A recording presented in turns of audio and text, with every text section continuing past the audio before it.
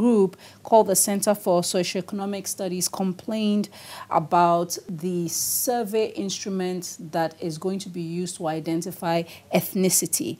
And they specifically point to number four, the fourth column, which refers to the Ewe ethnic group, which doesn't have subgroupings with their specific nomenclatures. Why is it that that is the way it is. And this group is complaining that the other ethnic groups have their subgroupings, but not the other ethnic group. Let me put on record that this has been the situation since the 2000 census, the 2010 census, and in 2021 we are seeing the same. The concern has come up because the other seven groups, as you rightly say, said, have sub-ethnic groups for purposes of facilitating the data collection exercise.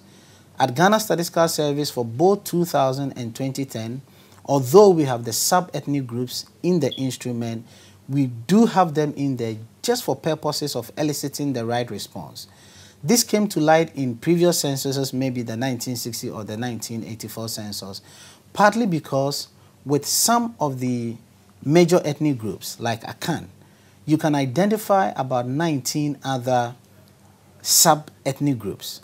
And some of the sub-ethnic ethnic groups over time have tended to be more pronounced than the major ethnic groups. So if you ask somebody based on our experience in the field, what is your ethnic group? Instead of the person saying, I'm an Akan, the person identifies more with a Twi, a Fanti, and so on. So what you're saying essentially is when people give a response, based on the response that is given, you will categorize it under the large ethnic under grouping. the major ethnic group yes. All right. Uh, recent events has led to a lot of um, awareness about whether there are attempts to suppress one ethnic group or not. And in the light of this coming out some it may not be the gss's intention. However others with a certain agenda or ideological view may seek to use this data for political gerrymandering or for any other reason. Maybe even it gets it is data that is made available to institutions that determine whether we have a new district a new constituency and the like. How would you respond to that? Thank you jifa. Indeed let me emphasize what i said earlier on. Once an enumerator comes to you and asks the question what is your ethnic group? it is self-identifying so it's the respondent who would have to say, I'm, I'm an Ewe. This the person says, I'm Hodome, which is those who come from the whole Hohoe area. If they say I'm Hodome, how would they then be classified? Based on our trial censuses, based on our experience in the past, and our engagement during the data collection stage, the broad understanding that we got was that Ewes would always identify themselves as Ewes. If this issue had come up a week, a month, sorry, two months ago, six months ago during our consultation period, it wouldn't have been an issue at all. And indeed, it is not an issue now. If we just want to see the sub-ethnic the sub-ethnic groups for the Ewe uh, major group, for purposes of facilitating accurate data, this can be done. And already we are in discussions with the um, regional House of Chiefs, the president of the regional House of Chiefs. And if the recommendation is that as part of the questioning, we would want to see the sub-ethnic groups for Ewe.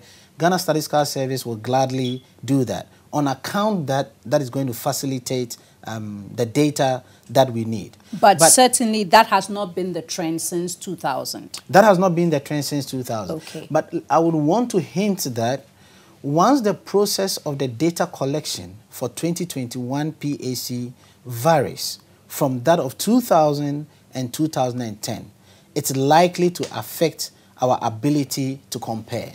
Mm.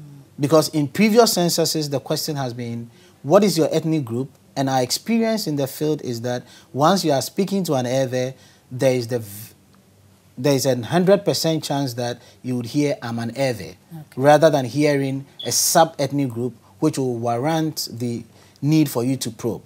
And indeed, if now is going to come up that there's a sub-ethnic group that we are not aware. Given what has happening, what has happened in the past couple of days, we're going to, we, are going to make this information available to our enumerators anyway. And now we are getting some sub-ethnic groups that are languages, some names that are coming up are that are languages, but that they are not sub-ethnic groups. So and there's there- a there fine be distinction between yes. there. All right. But once these things are coming up, we're going to work with the House of the Regional House of Chiefs, as I indicated.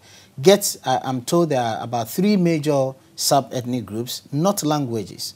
Once we get this, we're going to add it to our training and ensure that the enumerators are aware of it, so that once they approach the respondent, the households, and it comes up, they're going to identify with it. So, the data from the sub-ethnic groups will not be used for any specific thing. At the end of the day, when the data is compiled, it's mainly about the major ethnic groups. That's Indeed, that has been the will be. position of Ghana Statistical Service since the 2000 population housing census, 2010 population housing census, and indeed the 2021 population housing census. We're not going to do anything different.